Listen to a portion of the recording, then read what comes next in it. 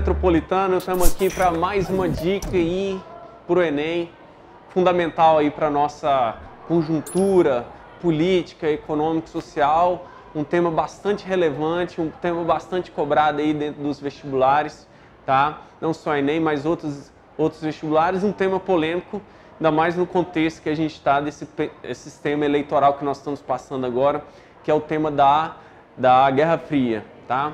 O que eu quero falar para vocês, o que eu vou apontar é que vocês tenham ah, o entendimento do que seriam as bases do conflito da Guerra Fria. E dentro desse entendimento eu vou falar tanto do campo político, do campo econômico e do campo militar, tá? Bom, iniciando então, a Guerra Fria ela tem vários fatores para que ocorra e o conceito de Guerra Fria também ela vai se dar como um conflito ideológico tá? Primeiramente é um conflito ideológico, um conflito político, econômico, militar, que vai colocar em, em, em evidência duas superpotências que saíram bastante vitoriosas do, da Segunda Guerra Mundial. De um lado capitalista, os americanos, e de um lado socialista, os soviéticos. Ah, nesse vídeo, nós vamos ver aqui que a base política é, que levou a, a, é, é, essa, essa ordem bipolar, ela vai se dar do seguinte contexto. Pós Segunda Guerra Mundial, em 1947, nós temos a conhecida doutrina Truman, que foi justamente o momento em que os Estados Unidos lançam-se contra a ideologia comunista, tá? E contrário e também se articulando o que os americanos fizeram com a doutrina Truman, nós temos na União Soviética, a partir do, também do ano de 1947, o plano chamado de Cominform, que é a união dos partidos comunistas ah, na luta contra essa, é, esse bloqueio, é, digamos assim, capitalista. Tá?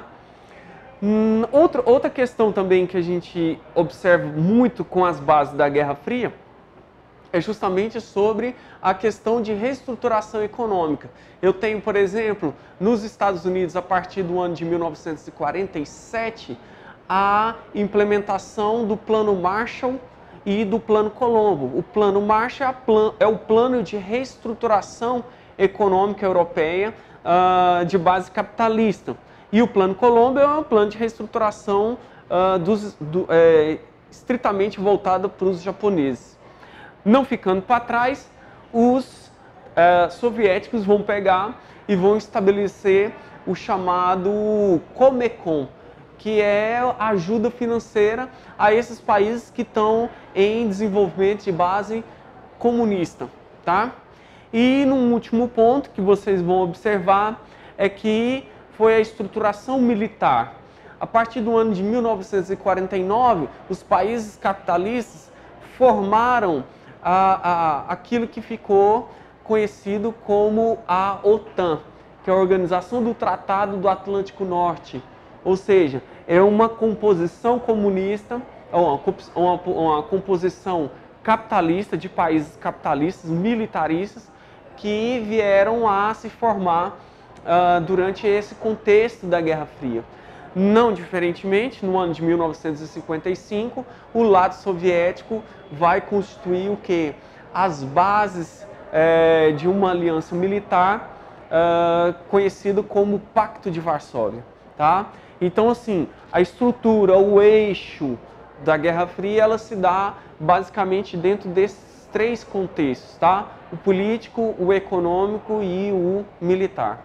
Assim você vai ver que a, a, a hora a Guerra Fria vai ter momentos de tensão, hora vai ter o um momento de afrouxamento do, desses conflitos, mas sempre é, entrando dentro de uma ordem, é, digamos assim, é, conhecida como uma ordem de tensão, tá? Então eu espero que vocês tenham aí aproveitado esse momento essas bases, essa base da Guerra Fria e que vocês possam fazer uma leitura prévia uh, é, sempre voltada com essa, com essa organização é, que foi estabelecida no contexto de, de, de solidificação desses, dessas duas potências capitalistas e também da potência soviética comunista. Ok? Beleza? Valeu! Próxima aula nós vamos dar um, outra dica fundamental aí para nós, é, direcionado também à política, tá? E eu espero que a galera também goste de dar um like no vídeo, tranquilo? Um abraço, valeu!